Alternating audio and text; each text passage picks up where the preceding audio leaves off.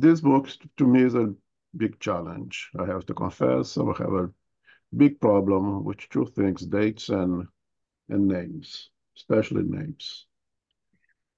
Um, and this book, this chapter in particular, throw a bunch of names at us that I don't know how you guys feel about it, but I'm always trying to put the pieces of the puzzle together. Who is who? Who is who reincarnated? And in this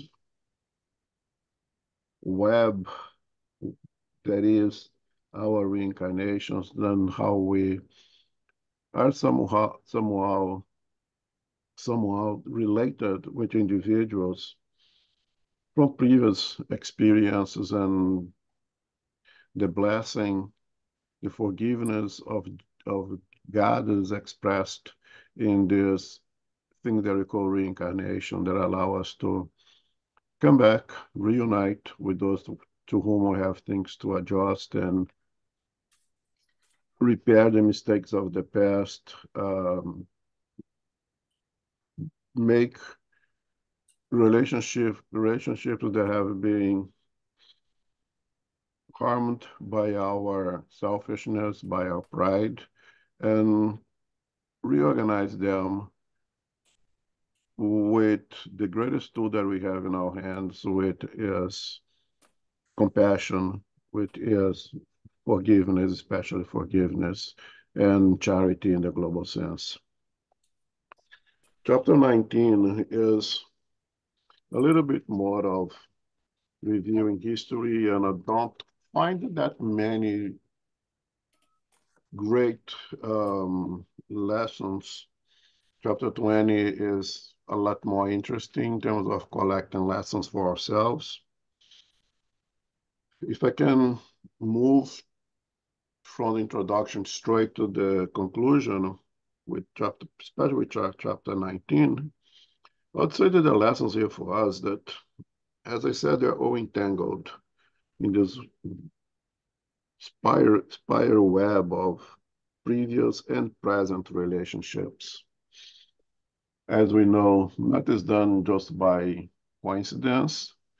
They in the spiritual world, they didn't throw a bunch of names up in the air and just pick a bunch to be together, unite as a family. Things happen for a reason, but more important than the reason for an objective. To seek to revisit our past is absolutely contra contraindicated and counterproductive. As you can see now, uh, we're just going to find ourselves in a worse situation, morally speaking, than what we are today. And why should we go and look for that? Why do we have to try to understand who I was, who the one who is next to me was, who my kids were, who my parents were, and it, it it's not going to produce anything of goodness. And and the only really solution is what Christ has taught us. Perhaps his greatest lesson is the necessity of forgiveness. Forgiveness being absolutely the, the ultimate key of liberation. Key of liberation from our past, and the key to reestablish harmonious relationship uh, in the present and one for, on forward. If you cannot change the past, we cannot redo what, what we have done before. We can repair now and move on in harmony. And that is primarily the objectives of our reincarnations in the law of progress. And the necessity of forgiveness, taking Jesus, his teachings outside of the religious aspect and in our and put it in our daily lives, outside of any religiosity, just understand that as we can read to this book, the exercise of forgiveness is an absolute necessity. And we can see the war today. We can see the wars going on today. We can see the conflicts that's lasted 7,000 years or more already that it's all happening today because we are still unable to exercise forgiveness. If this book, this special chapter teaches us something, is that forgiveness is absolutely essential. The idea that history repeats itself is ridiculous. The, the truth is, because of our inability to forgive, we do not liberate, liberate ourselves from the past. So the past continues to be the present in the absence of forgiveness and gives the impression that it's history repeating itself. But indeed, it's us not leaving history be behind and move on into the present and towards the, the future. As we read, you're going to get a lot of names. If you need to ask me who is who, please go ahead and ask who, who is who. Um, there's a good chance that I will be have to go back and try to figure out who is who because there's a lot of names in passion, in especially those who are reincarnated now with different names in the past, and I know those entanglement of relationships. Um, let's read and see if can Julio. We know who Julio is. Is the young, the young boy, right? Yes. That is now back in the spiritual world, and the young boy that in the past um,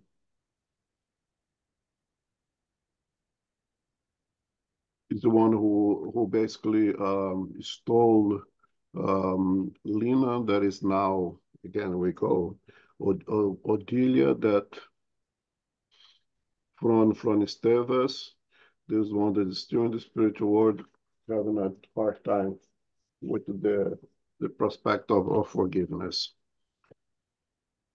So, uh, okay, who's doing the reading for us today? Yes. Okay. I will. Um, I will. Okay. Uh, we may need a little, read a little long um, than, than usual, but um, okay. let's see if I can read this. Okay. Chapter 19 Pain and Surprise. Julio, Julio, show yourself, you coward, screamed Mario Silva as if possessed. Perhaps sensing the sympathy that Amaro had won from us due to the calmness with which he was handling the situation. Silva continue calling rebelliously. Show yourself and unmask this rascal who's trying to win us over. I really do hate you, Julio, but you have to show yourself and accuse your heartless murderer. I'm sorry. It's okay. Clarencio tried to restrain him gently, but like a wild colt, Silva, Silva spurred around aimlessly and continued yelling, Julio, Julio. No, Julio did not answer the call. Nonetheless, to our surprise, someone else did. As if she had been called by name, Sil- Sister Blandina appeared in person and stood beside us. She enveloped us in gentle light, and we settled down, perplexed except for Clarencio, who had kept his calm, as if he had been expecting her visit. After greeting us, Blandina stated humbly, Brothers, for Jesus' sake, listen to me.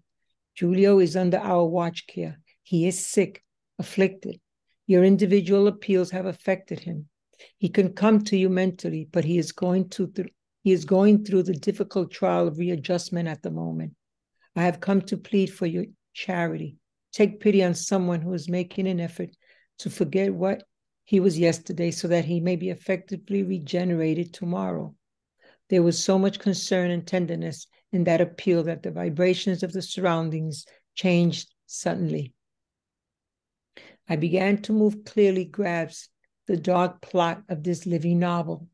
Julio, the sickly boy, was the spirit who had reincarnated as the son of the friend with whom he quarreled in the past. I couldn't dwell on this fact for long, because Silva, probably rebelling against the emotions that had overcome our souls, began complaining again. Angel or woman, I won't try to fight the sorcery. I won't fight it, but I have to throw this thief into the abyss because of his preposterous lies. Julio could stay in heaven or hell in the custody of archangels or demons, but I demand that the whole truth come out. I call on Lina as my witness. May Lina show herself. Let her take the stand. If we have been called here by the faith that binds us each, to each other, let that perfidious woman be heard as well. Assuming spiritual leadership of the group, our instructor invited everyone. Lina is nearby, and let's go.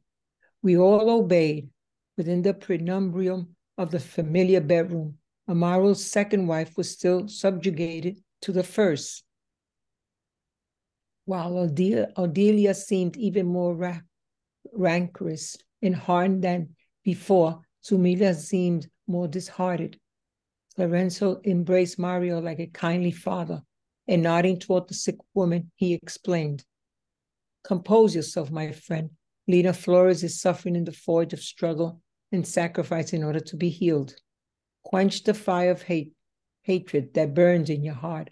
Allow new understanding to benefit your ulcerated soul. We mustn't stand in the way of someone who is seeking the regeneration she needs. In light of Mario's nervous, ag- agonized look, the minister con- considered Lina, today is having immense difficulties trying to maintain a worthy marriage and in overcoming huge obstacles. She is laying the foundation for upcoming motherhood. Let's help her with our vibrations of understanding and care. When we love rightly, the happiness of the one we love comes first before anything else. Our group went a little further. Blandina continued praying. Clarencio approached Zulmira with respectful attention and showed her gout. Sad face to Mario, who shouted in dread upon seeing her. Zulmira.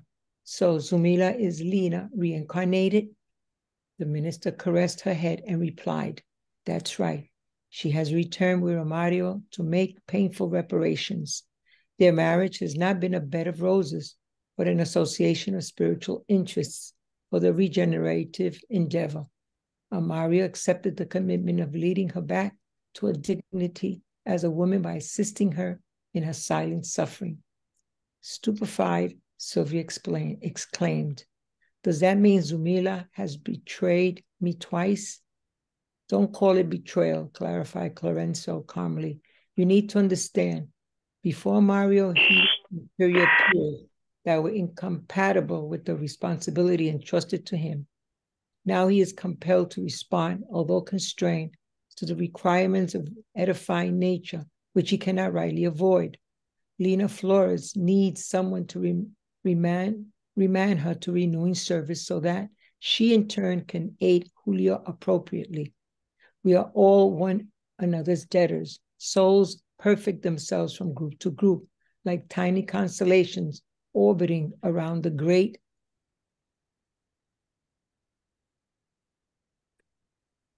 around the great sun, Jesus Christ. Like a planet that is far from the center of its solar system, you have left the orbit of all companions of evolution.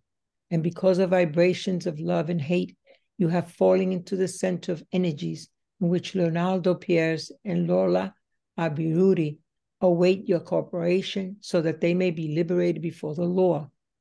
In the past, Amario came between Zulmira and Julio, thus planting the lacerating thorns between them. Now he must bring them back together as a loving family so that as a mother and son they can readjust themselves in sanctifying love. In the past, you isolated Leonardo from Lola's loving assistance, thereby hindering your own evolution.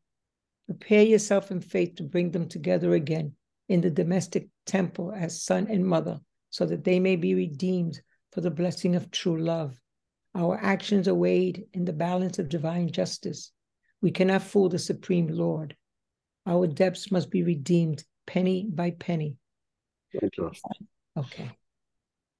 Okay, so what we hear is what I said is entanglement of relationships that go back and forth, back and forth, waiting for forgiveness, at least from one side, ideally for both sides, from all the mistakes that I have done in the past.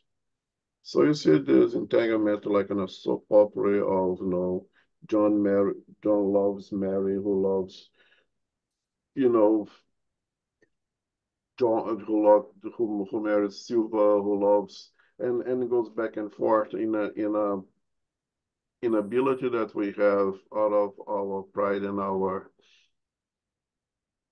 lack of humbleness to accept the desires of individuals and try to break relationships for our own sake and create this tremendous amount of responsibilities that we carry, right? So we have there that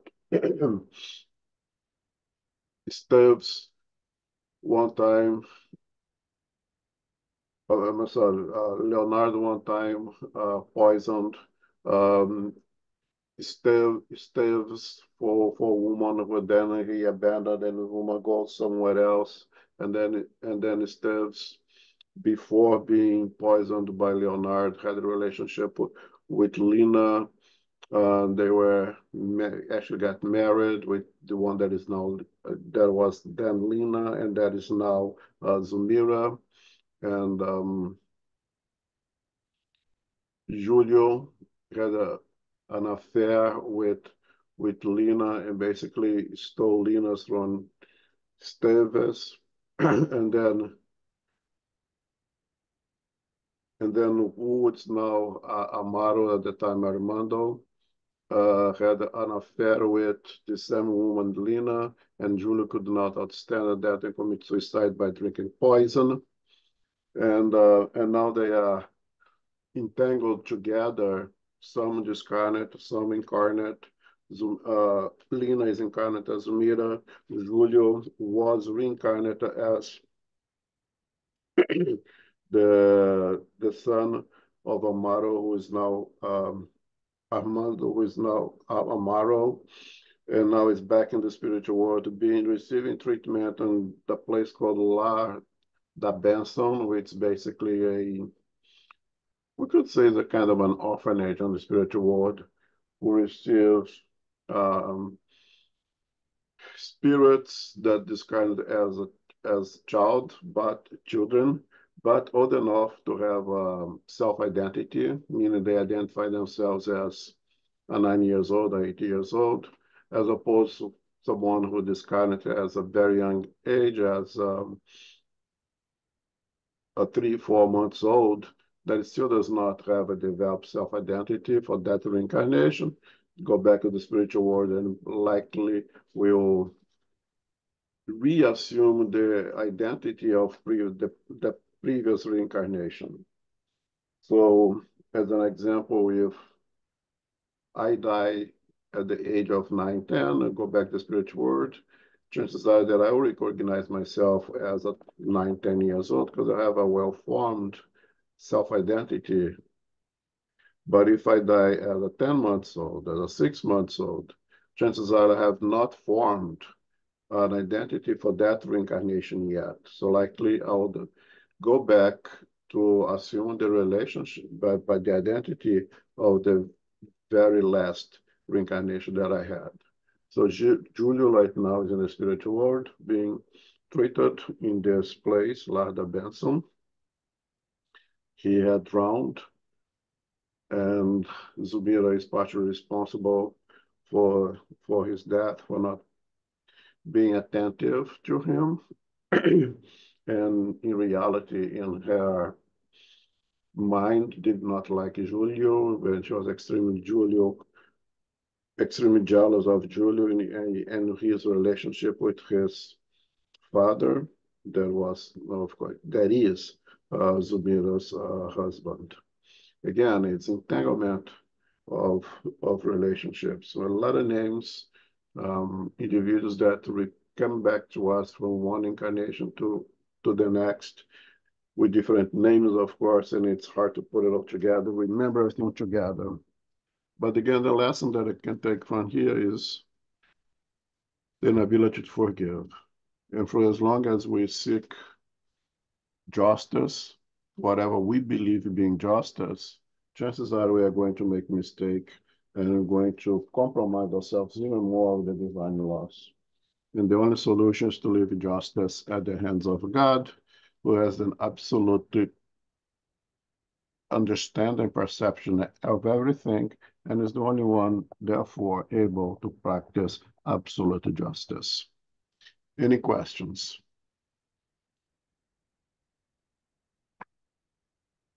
Okay, so you can finish that chapter now. Okay. We found this brief lesson to be enormously beneficial. Amaro bowed his head, showing that he was ready to obey dictates of a higher nature, whatever they might be.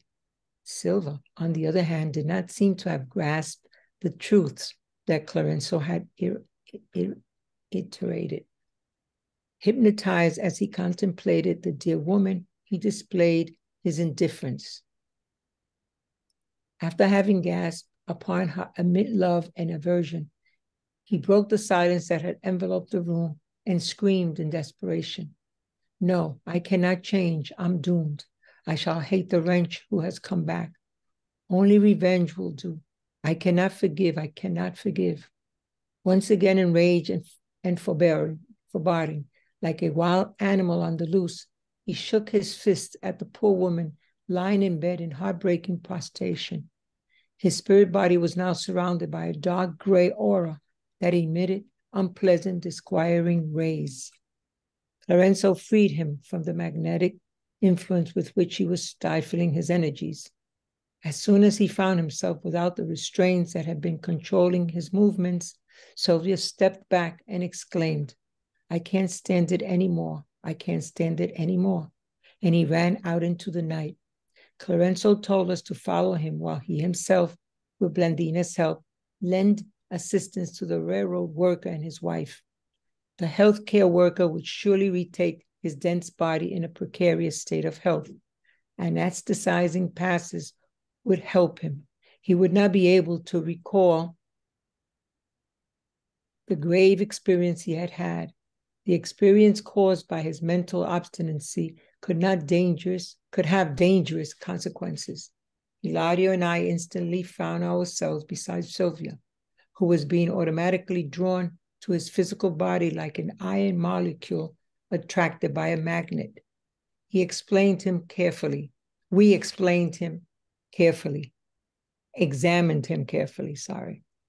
His chest was heaving and his breathing was labored. His heart was racing due to out of control arrhythmia. We immediately got to work soothing his mental field as much as possible by means of magnetic sedate, sedatives.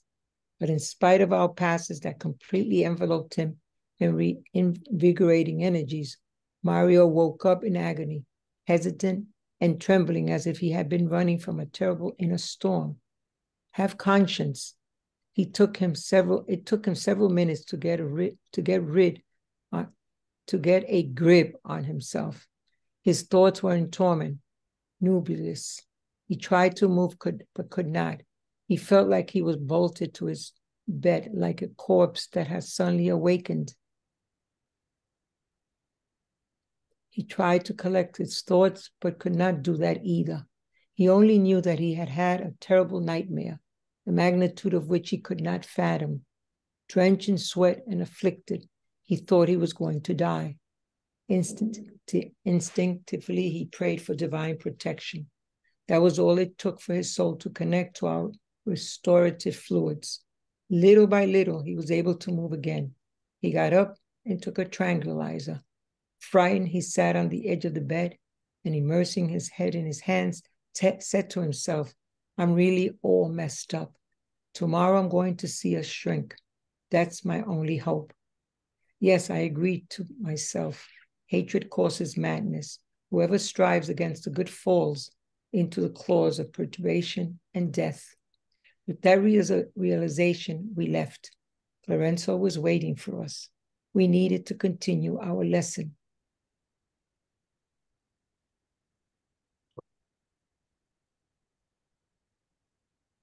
Okay.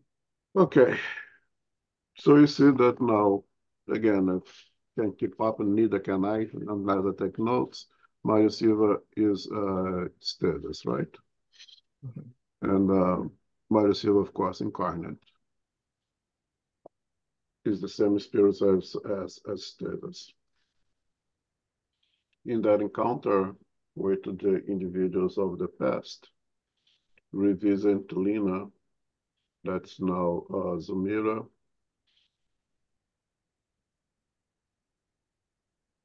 he is shaken with tremendous amount of energies, most of them very dark, not good energies, that it derives from his hate, from his inability to forgive, that places him in a state of completely imbalance.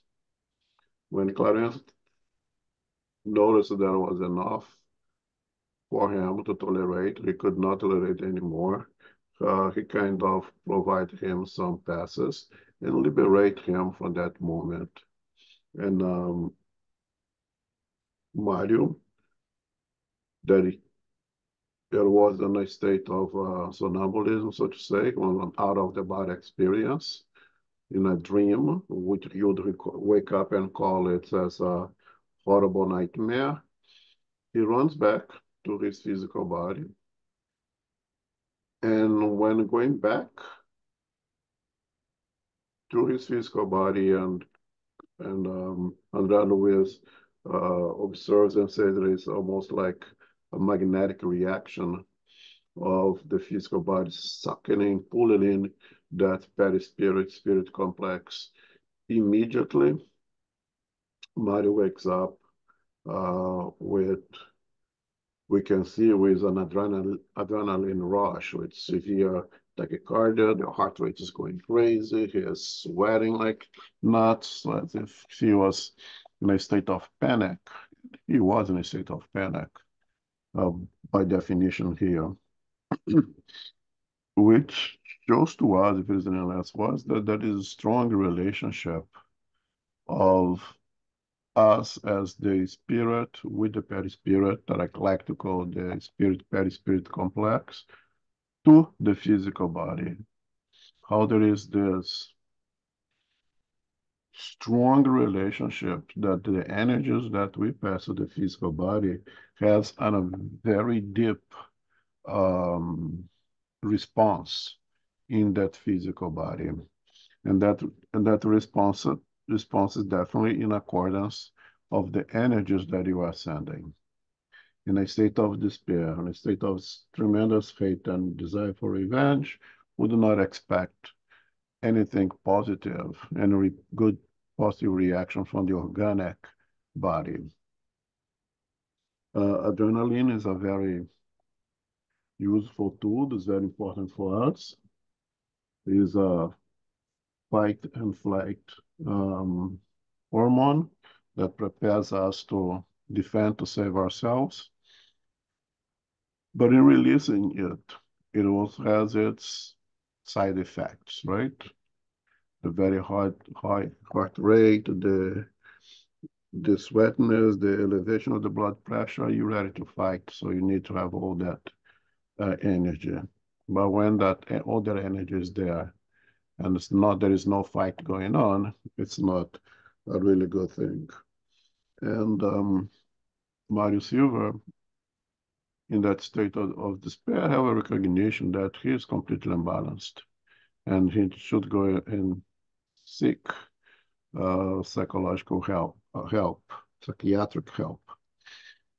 To which André Luiz says that absolutely agrees, because hate creates that form of imbalance. We would not say over here that all, all of our psychological slash psychiatric um, diseases or imbalances are the result of the harmful energies that we, the spirit, perispirit complexes, throw into the um, physical body, the physical organism, has a strong relationship and the likelihood that most of our problems is because of this conflict with us, with our, and our own conscience, with our lack, our inability to follow Christ and to practice charity, which is again uh, benevolence, indulgence, and forgiveness. In this case, uh, forgiveness is the great stressor. Therefore, for Mario Silva, who was uh, Esteves in the past. Um,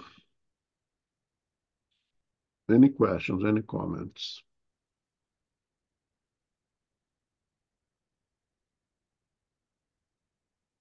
Uh, yeah, I know that uh, I I start the this chapter with the conclusion uh, of this of this chapter, but I think that it does not bring much great uh, addition besides the, the necessity for forgiveness. Therefore, as long as we're unable to forgive, we keep ourselves hostage of the past, imprisoned by that past. And it's our own doing. Mario, know, the incarnated Esteves, cannot hold anyone responsible for his present suffering. He cannot say, oh, he did this for me in the past, she did that to me in the past. Yes, they did. But who is holding himself hostage in the past is him himself and no one else. And that's something that is trying to imprint in the minds of spirits that we see in our mediumship meetings very often. They who find themselves in the right to exercise justice find themselves also at the same time prisoners of their own past. And when I try to explain to them that some of them will have absolutely no ears to it, do not want to hear. Some will say that divine justice takes too long, they cannot wait for God to make justice, they have to do it themselves. But for those that from time to time we see that is receptive to the ideas of if not forgiving, which is a much harder thing to do, at least to not pursue revenge, to not go after those that he considers to be responsible for his present suffering, that if he just let it go, they, they will feel a lot better. They start feeling a lot better at that moment that we talk to them. We can see, we can hear the energy in their voices, that moment of, okay, uh, I'll let it go. And if I cannot forgive yet, at least I'll let God take care of him or her, and I, I'm going to move on with on life. We can even feel the energy and the voices when they reach that moment of liberation. And that's the process that Mario incarnate is going through now to eventually being able to let it go um, himself. The next chapter is a little bit more interesting because it with things that um, that is more palpable for us. We're going to talk a little bit about centers of energies and uh, not be able to finish the chapter, but let's see what we can do. Okay. Okay, chapter 20 Conflicts of the Soul. When we arrived back at Amario's home, we were still able to observe him outside his dense body.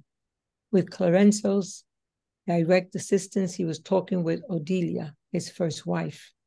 When Odilia saw Amario, probably with Clarencio's help, she forgot about Zulmira for a few moments and knelt down at his feet, exclaiming, Amario, throw her out. Enough of this woman in our home. She was wrenched. She has wrenched our peace. She murdered our son. She's no good for Evelina, and she's a torment to you. Staring at Zulmira with a terrible look, she asked, Why are you keeping such an intruder, intruder around? a very downcast Amario had been making an effort to focus on our instructor. But perhaps tormented at seeing his sullen, angry first wife again, he had lost his characteristic serenity. While with us, as he discussed problems of a moral order weighing on his mind, he had maintained an invariable calmness with an aristocratic grasp of life problems. But here, in the presence of the woman who dominated his sentiments, he turned out to be more accessible to imbalance and turmoil. We could see that he wanted to respond to Odelia's accusations, but his extremely pale face betrayed inhibit- inhibitorial emotion. Situated between Odelia and Zulmira, he seemed di- di- divided between love and compassion.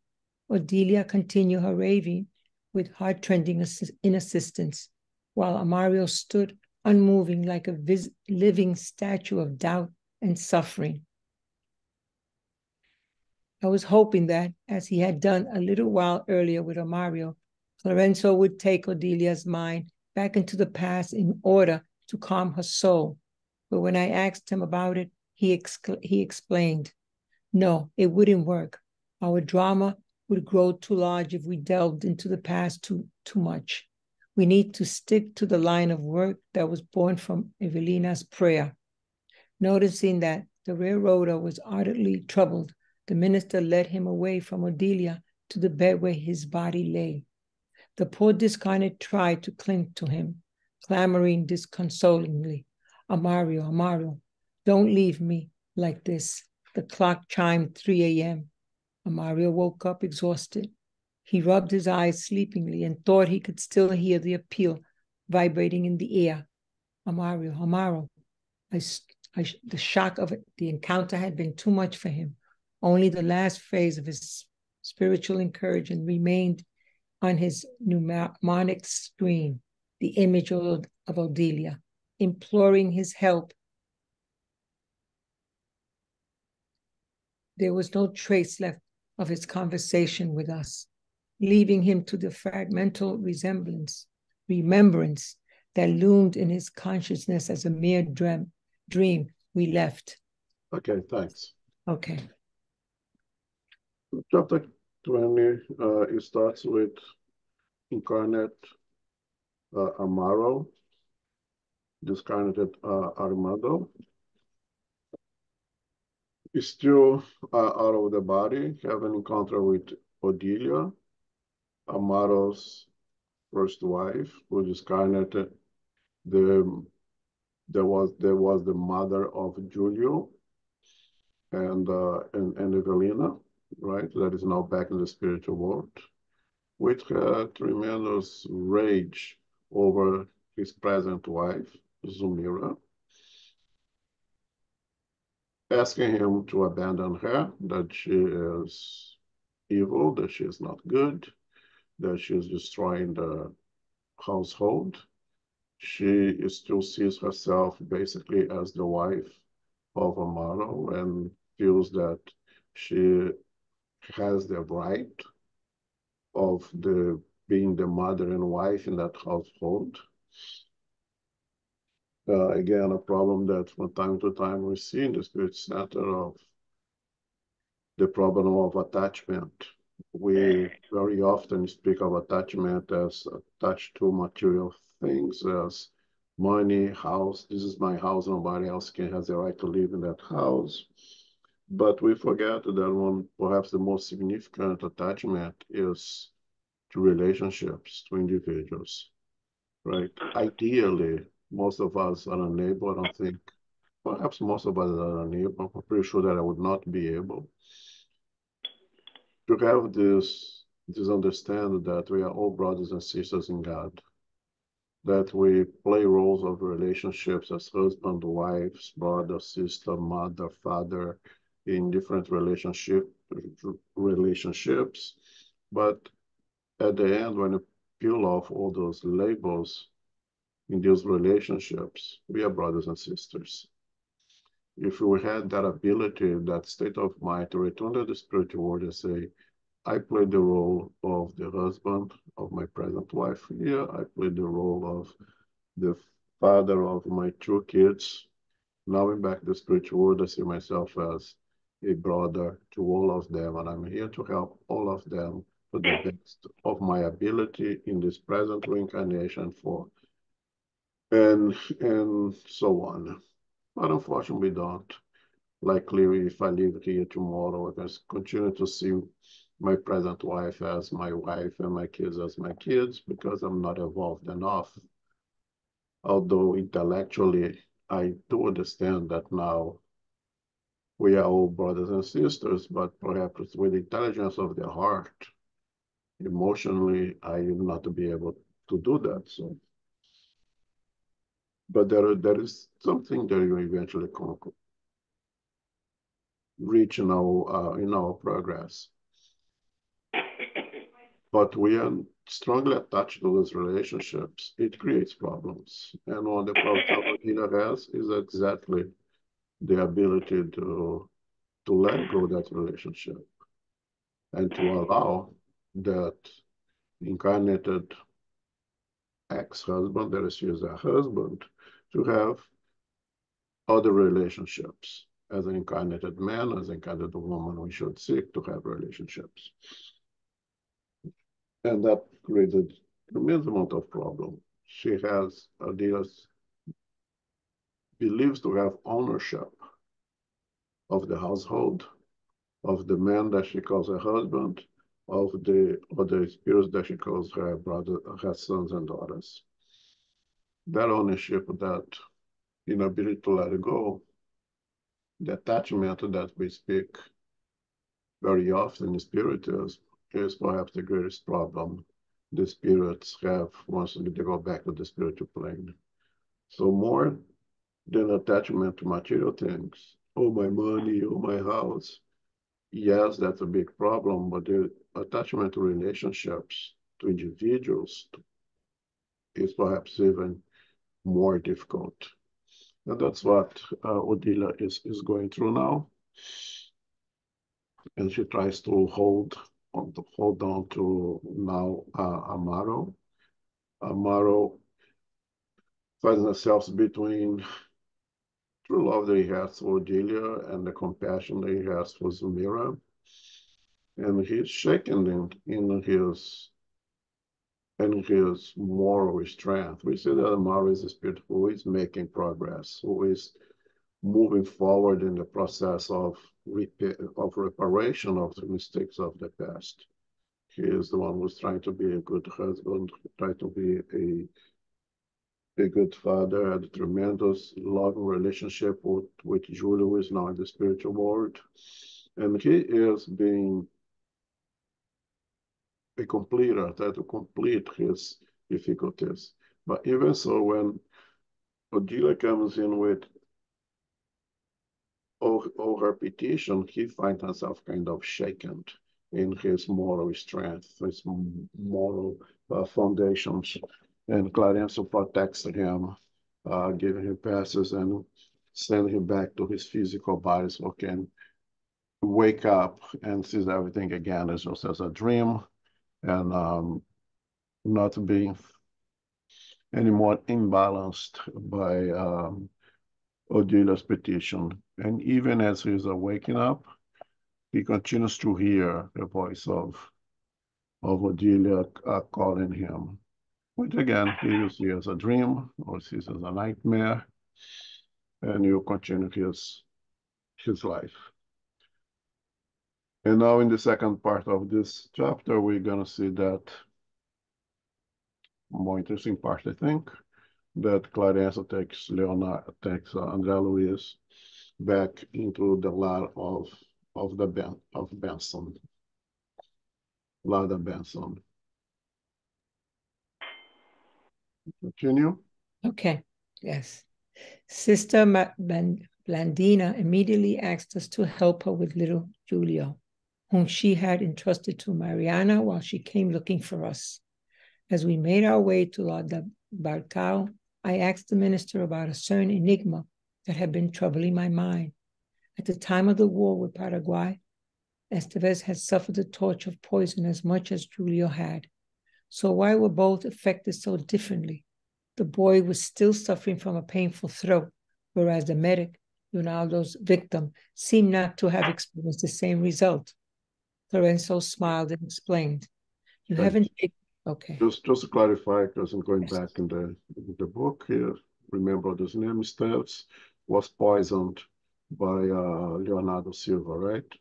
Leonardo Silva gave him poison mixed with the wine, and Julio drank poison in a suicide in the past. Go ahead. Okay.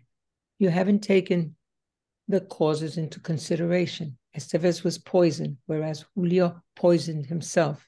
There's a big difference. Suicide entails the enormous complication of guilt. The mental fixation of remorse causes untold imbalances within the spirit body. The harm affects the recesses of the conscience, which creates and then concretes it. Concrete, concretes it. We saw Leonardo Pires with the image of Esteves tormenting his mind, while Julio is still adversary, affected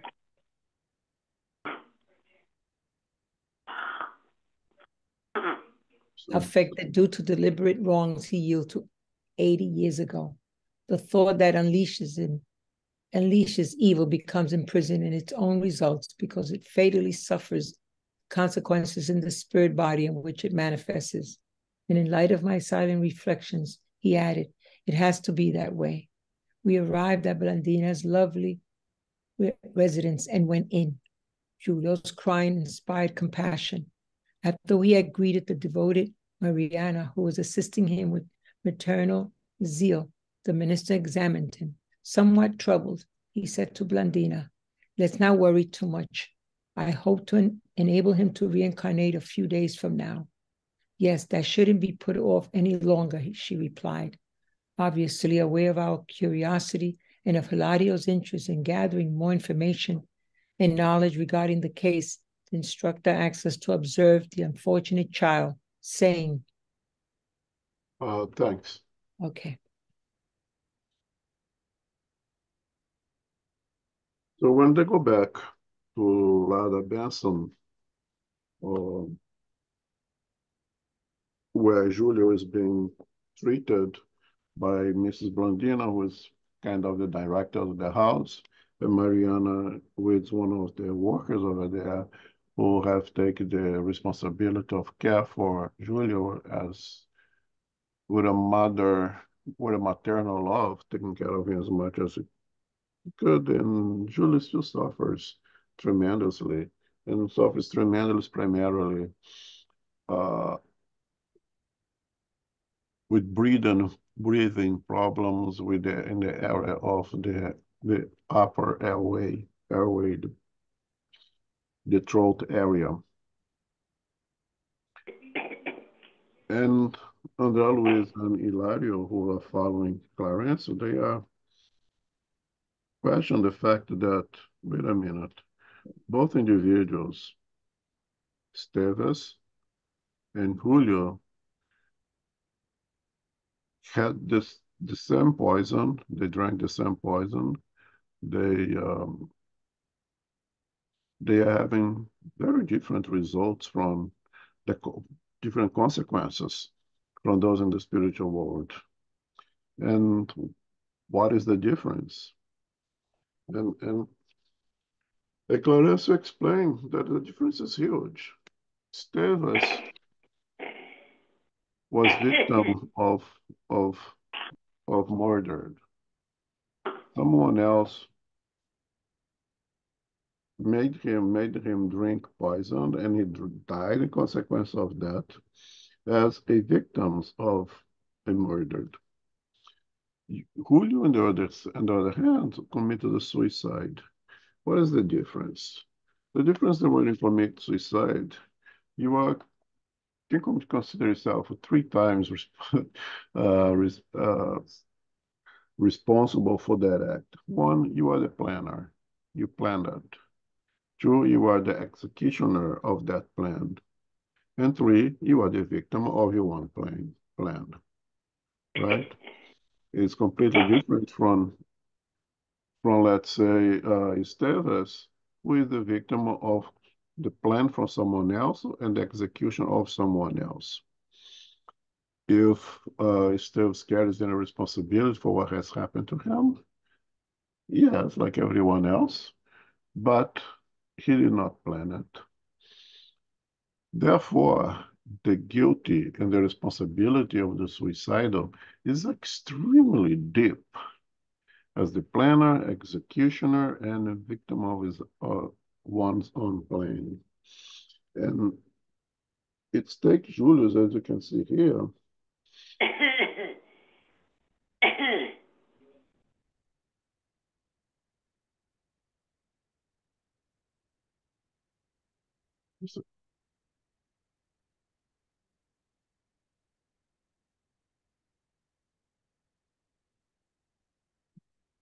taken Julius a long time to recover from that um,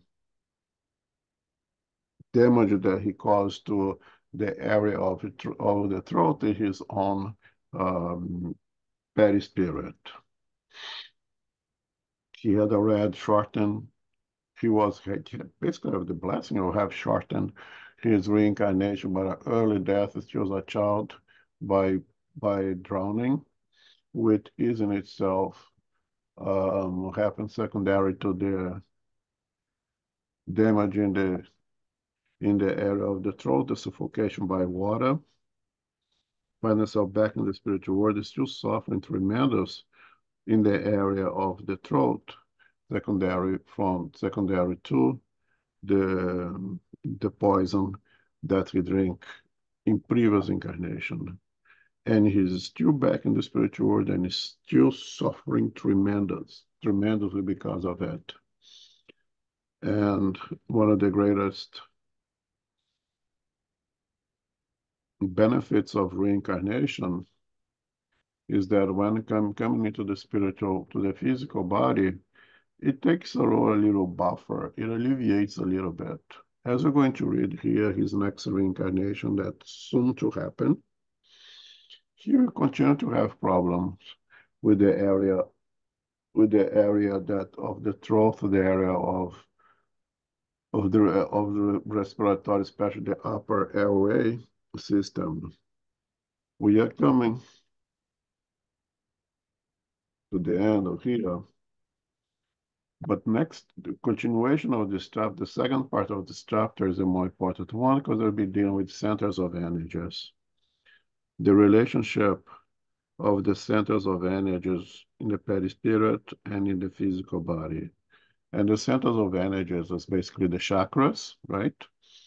And then, and uh, Clarence will give a very nice, very short and very synthesized um, lesson on those centers coming from the what he called the he calls the what is the name the one that he call the coronal okay we'll call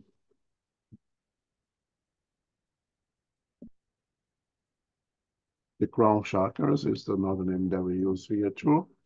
And he established a relationship of each one of those centers. The cerebral that we call the frontal the frontal that he's going to call the throat. And the relationship of each one of the centers of energies that we have in our Paris perispirit that of course has is responsible for the energies in specific parts of the physical body, right? So as if you move ahead, you can see the cardiac center has a relationship with the heart, the system, the vascular system. And you know, if you think of the genetic, has the respons responsibility of with the energies of the areas of reproduction and sexuality in us and so forth and so on. You go to each one of them, I think that's be quite interesting.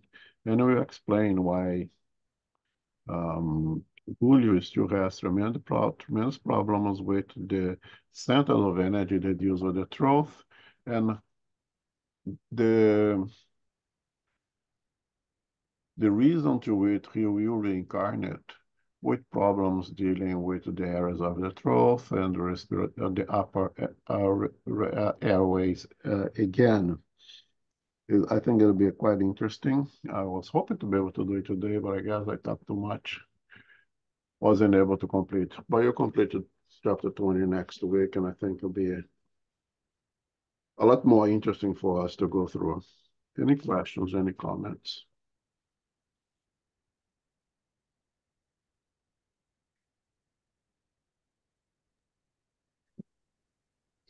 Wait a minute, we, we under 12 or 12:30?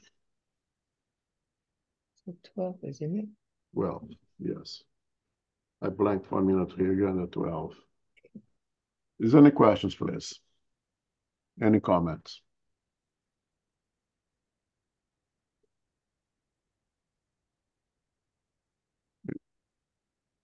Excuse me, Yes, my schedule says it goes to twelve thirty. It's 12:30. Yes. It is? Yeah, it is twelve thirty, so it's twelve, It's 12:30, yeah, I blanked over here for a minute. 12:30. okay. I thought I was going crazy. Oh, God. So, Okay. thank you. Thank you. Okay. So let's read a little more. then. Continue. Um, Okay. Okay. As you know, our body of ratified matter is inwardly governed by seven force centers, which come together in the branches of the plexus.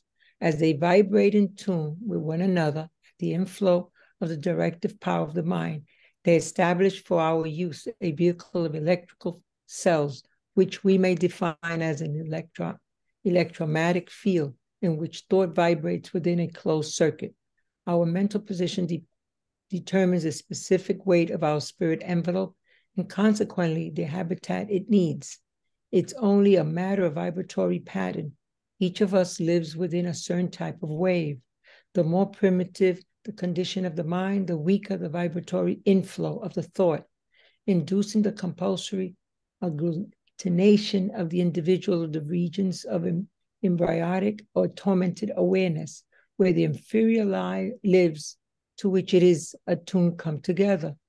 The increase of the mental flow within the electronic magnetic, magnetic vehicle in which we move after we abandon the earthly body depends on the experience that has been acquired and stored in our own spirit. With this reality in mind, it's, it is easy to understand that we either sublimate or unbalance the delicate agent of our manifestations according to the type of thought that flows from our inner life.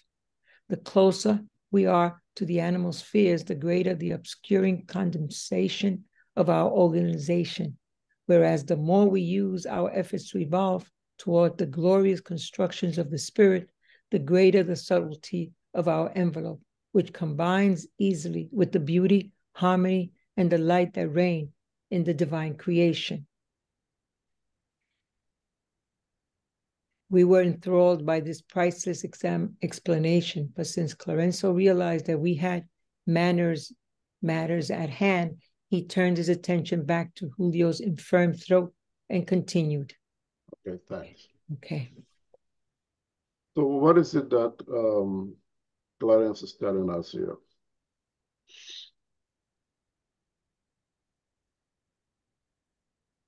With, with the theory of relativity, thanks to Einstein, we know that energy is matter and matter is energy is, is energy is just a matter of condensation of the of those energies, right? We as incarnate being, we are spirit, very spirit, physical body. Once we leave the physical body behind, we are spirit, very spirit. The governor of everything, the leader of everything is the spirit.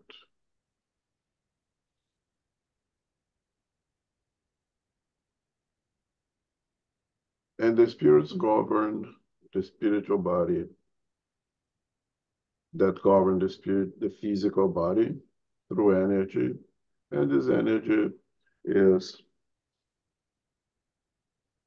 the mind, basically. Our sentiments, our love, hate, jealousy, um, anger, generate thoughts. You know, it reaches our mind and we generate thoughts. Thoughts is, is energy. that energy will pass to the perispirit, that is, that will pass to the physical body. How does it happen? The same way that there is different pathways for things to travel, you know, air, um, uh, sound travels through air in its proper uh, waves, wavelength, um, energy, electric energy goes through the wires and has its own way of reaching point A to point B. How does energy goes from as the spirit, mind, to the perispirit, I we don't do not know, but it's transmitted in the in the perispirit and from the perispirit of the physical body through a railway called nerve, nervous system, the nervous system. And there are something called plexus. And the plexus is basically an area of a meeting of many different uh, nerves that comes from the higher up, let's say, using as an example the physical brain. When the brain, it travels through some plexus. In those plexus, they distribute itself. And you have major plexus at around the, the neck, at around the, the axilla, at around the, the groins, and for that, it distributes itself to different areas. Nerves that goes to the toes, nerves that goes to the knees, and, and so forth and so on, right? That is just a comparison of here that we make. So we have those plexus. That is a, a congregation of of other of of, of nerves that comes from its origin, you know, in the brain gets together with that, and then it's redistributed to other areas, right? As some of those um, airports, what is the what's the title that you gave? Like Atlanta, like Chicago, like Houston, that receives basically um, airplanes from all over the world, and from there it distributes for other smaller uh, airports, right?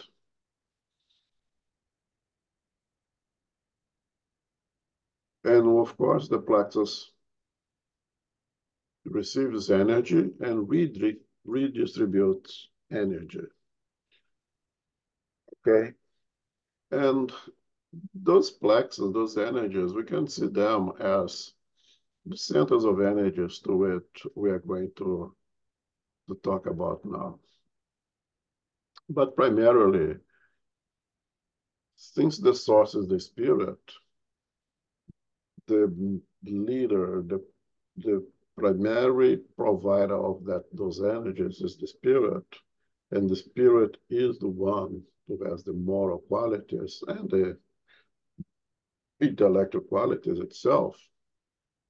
And both perispirit and physical body are just instruments of the spirit to be able to express the spirit's qualities, good and bad. The, when those when the, the qualities are good, when the spirit is more evolved, it will produce, it will generate energies that will reach the physical body, the, the perispirit first, carrying good, pleasant, health energies that produces good health physical body or state of health, so to say. And when there's Energy is produced by the spirit that derives from the sentiments, the goodness of the one has, the moral qualities that one has.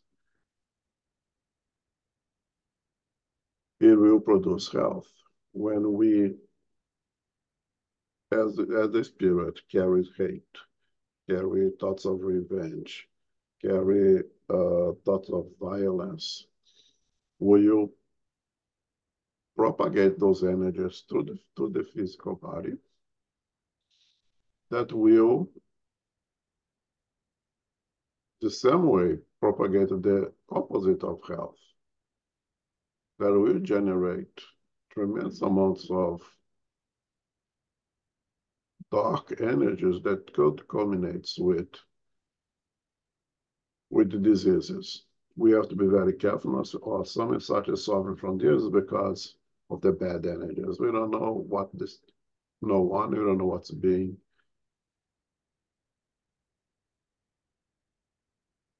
happening right now to each individual. Let's say perhaps the individual that today is carrying a baggage of tremendous amount of health problems, you, you cannot assume that that's, that, that spirit is generating all those bad energies in the present. Let's use the case of Julio as an example. We don't know how Julio is going to be in the next reincarnation. We don't know how much he will be at that moment as the next reincarnation. Let's say his name is going to be John. That just his next name is going to be John. Julio, when he reincarnates again, is going to be John. You don't know how John is going to be.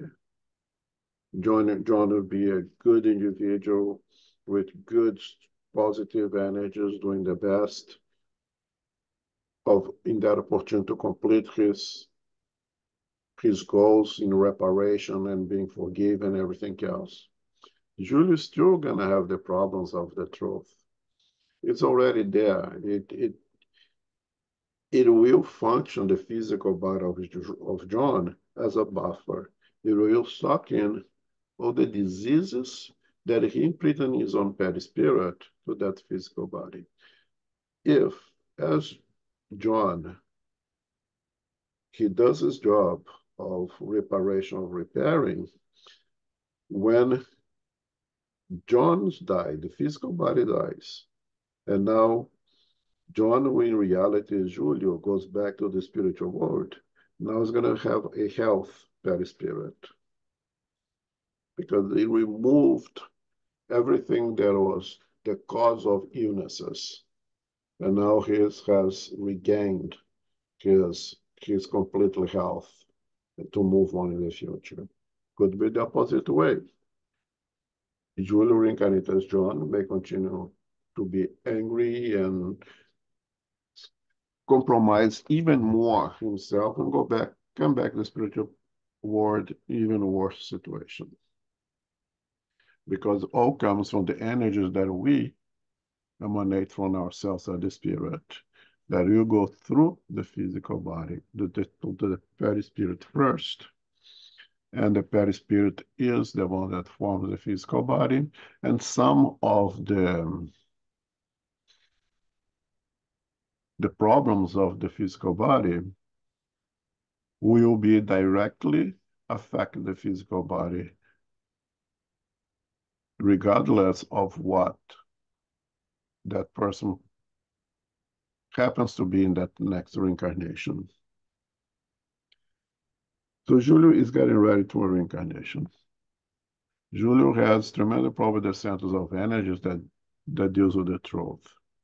And Julio will reincarnate soon with problems with problems with with that center of, of energy that will compromise his physical body in that very next reincarnation. How is going to use the opportunity? That is where the biggest thing that we God gives was the free will comes into play. Okay, you have problem with with your truth, you have have to deal with some health issues. How do you deal with that? and how do we use that opportunity as an instrument of growth of the eternal spirit so we can go back to the spiritual world, spiritual world in much better shape with uh, repaired, so to say, perispirit. And know you come from the energies that one emanates as the spirit that will create the process of regeneration or using our free will complicate those situations even more. That's where you Julio finds himself.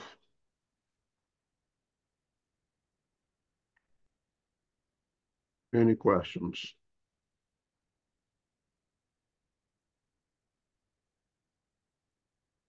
Okay. We continue. Yep.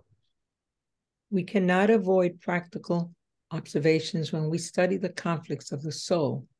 Whatever the corruption of the thought is, such will be the disharmony in the practical force centers that reacts in our body to this or that class of mental inflow.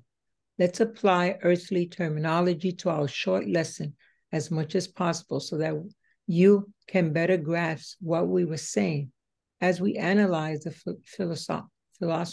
physiology of the perispirit. We may classify its four centers by remembering the most important areas of the physical body, thus using the best expression for the vehicle that serves us pres- presently. There is the crown center, which on earth is considered by the Hindu philosophy, philosophy as being the thousand petal lotus and the most important center of all due to its high radiation potential and its connection with the mind, the shining seat of the consciousness. The crown center receives, first of all, the stimuli of the spirit, commanding the other centers, yet vibrating with them in a perfect system of independency. Considering in our exposition of exposition the phenomena of the physical body and satisfying the imperative of simplicity in our definitions, we can say that energies of nourishment for the nervous system is subdivision emanate from the center, that it is responsible for feeding the thought cells and for providing all the electron electromagnetic resources that are indispensable for organic stability. Therefore, it is greater similar of the solar energies and rays from the higher rims that can favor the sublimation of the soul. Next, there is the cerebral center, contiguous, contiguous to the crown center, which orders the various types of perception, which in the physical body comprise sight, hearing, touch, and the vast network of the processes of the mind that have to do with speech, learning, art, and knowledge. It is in the cerebral center that we possess the command of the do- center, which has to do with the psychic powers. Next, there is the throat center, which presides over the vocal phenomenon, including the activities of the thymus, the thyroid, and the parathyroid. Then there is the heart center, which sustains the services of the emotions and overlook equilibrium. Proceeding on down, there is the splenic center, which in the dense body is seated with the spleen and regulates the distribution and the circulation adequate for the vital resources in every corner of the body. Then comes the gastric center, which controls the entrance of nourishment and fluids into the body. And lastly is the genesic center, housing the sanctuary of sex as molding temple of forms and stimuli. The instructor paused, paused briefly to rest and then continued. But we mustn't forget that our subtle vehicle like the physical one is a mental creation on the evolutionary pathway, woven out of resources taken temporarily by us from the storehouses of the universe. It is a vessel that we utilize to house the divine light, sublimation, and our eternal individuality, with which we must seek the rims of pure spirit. Everything is the work of the mind in time and space, making use of thousands of forms in order to become purified and sanctified for the divine glory. Clarencio stroked the boy's ailing throat, indicating that it was the object of our lesson, and added, When by acts contrary to the divine law, our mind harms the harmony of any one of our soul's four centers, it is naturally enslaved to the effects of the unbalancing action, thus making the toil of readjustment necessary. In Julio's case, he is the author of Disturbance in Throat Center, an alteration expressed by infirmity or imbalance that will be necessary, will be by necess- necessity go with him into reincarnation. How will he cleanse the deficiency? I asked, edified by the explanation I had just heard. In a very sense, serene throat, the instructor answered. Julio will have to live with pain in his throat, thus healing himself by correcting the vibratory tonus of the throat center and reestablishing it to the, to normality and to and to edge his explanation more surely on our minds, he concluded. Julio will be reborn in a physiological defective body, which will somehow portray the injured area, his throat. He will suffer intensely from the vocal organ, which will undoubtedly be characterized by weak resistance to microbial attacks. In virtue of our friend having scorned the blessing of a physical body, he will be faced with dreadful struggles in order to learn how to appreciate it instead. Then the instructor performed several magnetic operations to help the little patient, who remained calm. And after the two kindly sisters expressed their gratitude, we said goodbye and returned to our spirit home. All right. Thank you, Zoraida. You're welcome.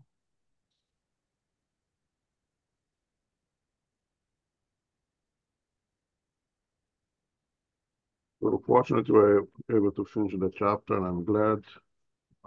Thank you, Philip, to remind me. I blanked away on timing. I did too. so, in the in the first part of the chapter, Clarencio gives us the understanding that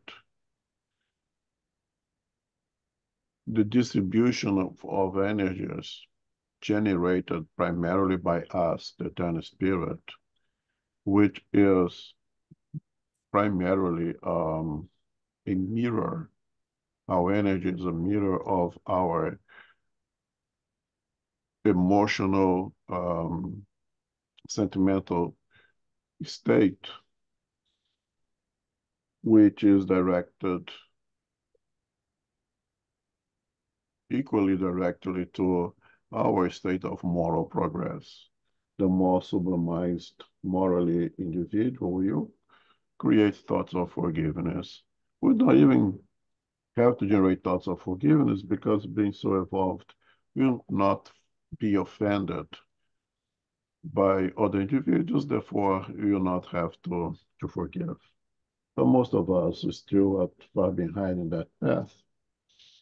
We find ourselves offended, we find ourselves hurted, we suffer for the action of others, and some of us are able to forgive directly and move on. Some of us are not really able to forgive, but be smart enough to not seek revenge and just let justice at the hands of God. And some of us are not able to do neither and chooses to seek revenge, choose to make justice with our own hands. And I'm using um, forgiveness and forgiveness as one example, but you can take all kinds of sentiments that we generate. Jealousy is an extremely harmful thing for the physical body. Being jealous is extremely troublesome, troublesome in the generation of very harmful energies to our bodies. Envy, greed, all those vices we really promote an array of dark negative energies that will travel from the us, the spirit. And again, we I think we can explain how it goes from the spirit to the perispirit, or if, if it's one and only thing go together. In terms of energies, of course, uh, we don't know yet, but we know that it's then distribute these energies, starting from the, the crown chakra or center of energy. Chakra is the terminology used in Hinduism that I myself found myself repeating time and time, but in Spiritism, should use center of energy.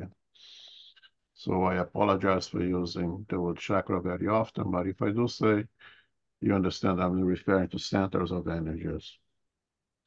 The Hindus have studied and understood these things quite a few couple of thousand years before Christ, at least, they, that they know the centers of energy because they pay attention to energy a lot more than the Western civilizations.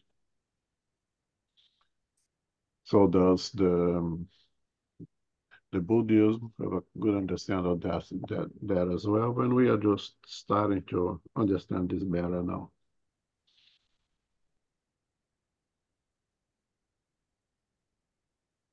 Clarencio explained to us here that the most important, it's not the most important, but the one that's directly connected to the spirit and therefore with the spirituality, and therefore the one that is able to receive the most assistance energies from the from the spiritual world is with the crown chakra, the ones right on the top of the head. That is called the um, 1000 petals because it's its size, because its brightness, and because of its connection with the with the spiritual world more extensively. It's like a big sun, and the rest of the, the um, sense of energy to be like the um, the planets that receive the energies from that big sun. The the crown chakra is directly connected with this with the spirituality, with the spirit, and therefore receive directly all the energies that we produce, plus the assistance, the energies that come from the spiritual world, and depends with whom we attune ourselves, those energies will be good or bad. How does um, obsessors may affect our health? Generate putting up energies that are taken by the spirit and going to directing that in that crown center of, of energy and being perhaps responsible for causing some of disease, disease, being psychiatric or even organic diseases. Following down, you have the what we call the, the frontal chakra that Clarencio calls the cerebral chakra uh, center of energy over here. That deals with the intellect, deals with the senses, hearing, seeing, tactile, all those all those sensations, very involved with the brain itself, itself, you know, and has a very close association with the, with the, with the crown chakra, and therefore receives tremendous volume of this the the, the spiritual energies directly as well. Going down, we have what we call the laryngeal, center of energy that Clarencio calls the throat, uh, deals tremendously with sentiments, deals tremendously with emotions. When you depends on the state of emotion, you feel that your throat is extremely dry, you feel that it's being squeezed, then you can even can hardly talk, depends on the emotional state.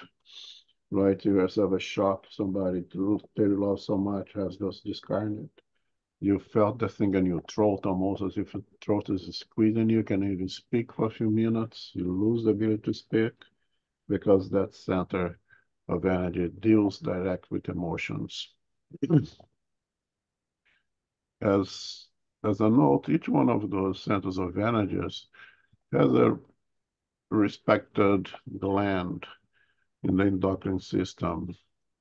So Clarencio says over here that the frontal uh, is associated with with our psychic abilities, mediumship, because it's also directed with a very important gland, that pineal gland, that we understand being the gland that creates that open window with the spiritual world for mediums to have a more or less ostensive mediumship, but all of us have a degree of, of mediumship as well. It also has direct relationship with the, the hypothalamus that governs the pituitary gland, and those two together are responsible for the maintenance and well-being of most of the other glands throughout the body. It's extremely important.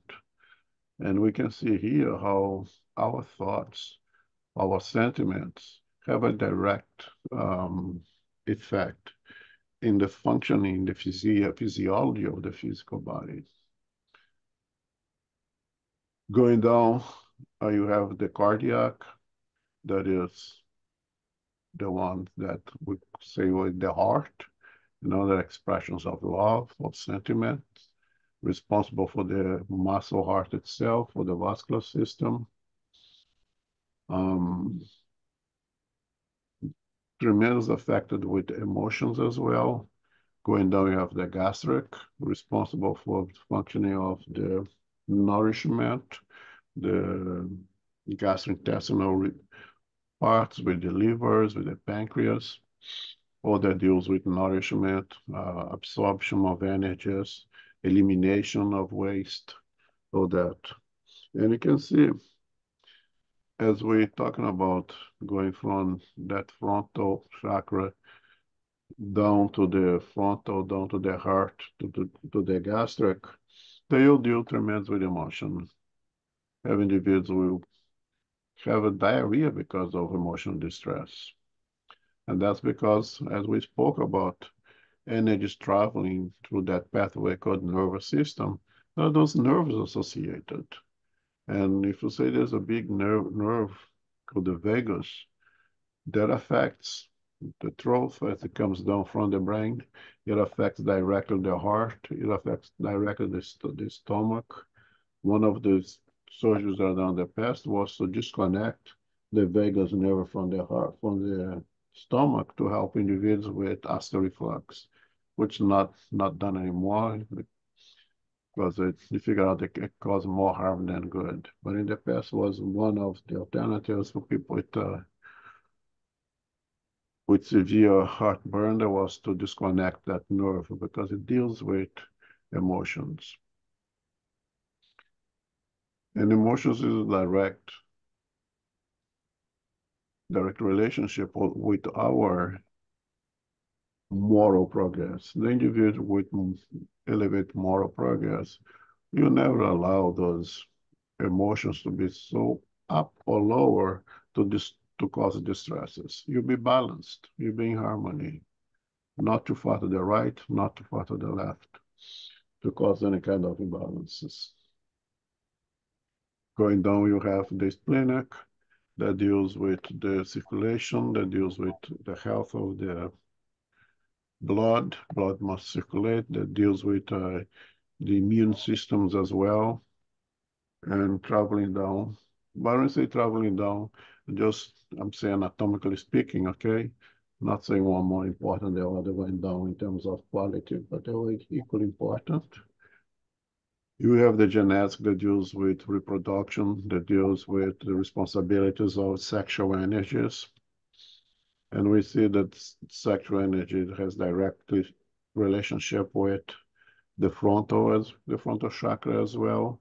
And the frontal chakra, again, going back to the pituitary gland, has direct effect in the in the hormones that use sexuality. So everything is connected. Everything has a direct uh, effect on everything. But the greater generator is as the spirit. And all derives from what, it what we produce in, in terms of energies on our sentiments. Hate versus love, forgiveness versus revenge, so forth and so on. Greed versus charity or benevolence, right? Choice is ours. But what do you want to produce to ourselves, what we are able to produce to ourselves.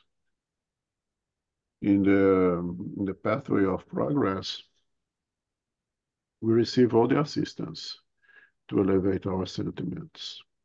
And if all those lessons are important for us to take home, not only the soap opera that that was presents over here, we always gotta go back to the teachings of Christ. That at the end it is forgiveness. Is the end is ability to love one another as brothers and sisters, regardless of the the title or the relationship that we are having this present reincarnation brother, sister, wife, husband, mother, son, daughter.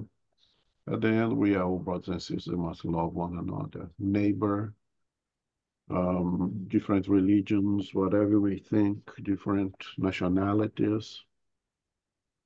The necessity of love one another is what creates us in that perfect state of harmony with our own conscience to generate sentiments that are extremely healthy for, for all of us. Because it's the imbalance or disharmony of what we generate in relationship to the divine laws that we have in our conscience, the genesis for most of the problem that we have. And especially for in association with this book, the necessity to forgive, to let go of the past, to assume the position of brothers and sisters that forgives one another for the mistakes that you have done, and again, do not repeat those mistakes again. Comments, questions? Okay, time is up. It's six minutes over as usual with me. Um, so, right, can I make the final prayer, please? Yes, of course, Mama. And as we come to the end of this beautiful lesson today, to our Father, our teacher, our mentor, to our spiritual benefactors and guardian angels, we give you thanks as we receive the blessings of understanding, of loving one another, and forgiving ourselves. These lessons that are so important to our lives here today to take with us, to improve, to work, and understand that we're not alone. We thank you, dear Lord, for these blessings today. We ask as we leave here today, dear Lord, that we continue to pray for all those that are suffering still at war, in illnesses, in hospitals, and all that continue to receive our blessings. May our Father be with them always. We pray, dear Father, for our SGNY, the United States Spiritist Council, the United States Spiritist Federation that continue to inspire us with the teaching of Spiritism. May we take this with us, dear Lord, and continue our part in continuing our work and studies. And may we always remember to keep our prayers in our homes for our families and loved ones, and especially send a prayer to our sister who passed away, Vera Hongo, for the family and loved ones that are with her. We continue to pray for her for peace and love in the spiritual world now. As we come to the end, dear Father, may we continue to follow our study groups throughout the week. Continue with prayers, dear Father, in guiding and helping the world that is so much in need. We thank you for this meeting today and be able to return again next week to continue our studies. We thank our teacher and all that continue to inspire us. And with this in mind, dear Lord, we ask permission to close our meeting today. So be it. So be it. Thanks, everyone. Next week, uh, oh, we have this the gospel across the spirituals. And for those who attend tomorrow, we will have our meeting tomorrow, okay? Yes. Thank you. Thank you very much. Thank you. Beautiful meeting. Thank you. Thank you.